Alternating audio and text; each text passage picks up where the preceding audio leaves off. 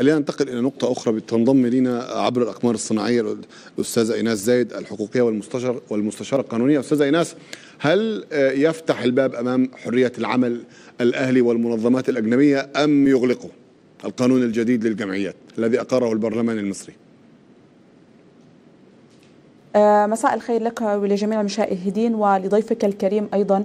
يعني في البداية القانون في صيغته القديمة قبل الحديث عن صيغته الجديدة كان قاسا جدا بالنسبة للمدافعين عن حقوق الإنسان وبالنسبة للجمعيات وعمل مؤسسات المجتمع المدني بصفة عامة.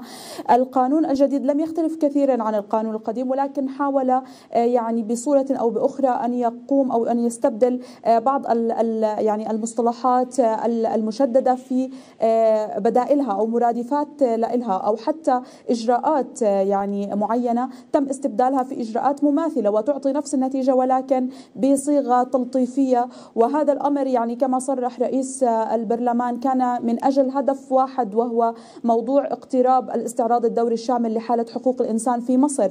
ولكن يعني رئيس البرلمان يعني لا يعلم بأن الاستعراض الدوري الشامل هو يبحث حالة حقوقية وليس مجرد قوانين أو تعديل في بعض المواد وإضافة بعض العبارات التجميلية إلى هذا القانون، يعني ما زال هناك ما زال هناك تضييق في عمل الجمعيات، ما زال هناك تضييق في عمل المدافعين عن حقوق الإنسان، لا يوجد أي مبرر للتضييق الموجود في سواء في القانون القديم أو في مشروع القانون القانون الجديد. من حيث على سبيل المثال منع هذه المؤسسات من تلقي طيب.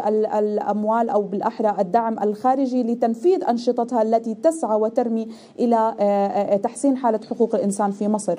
طيب أستاذ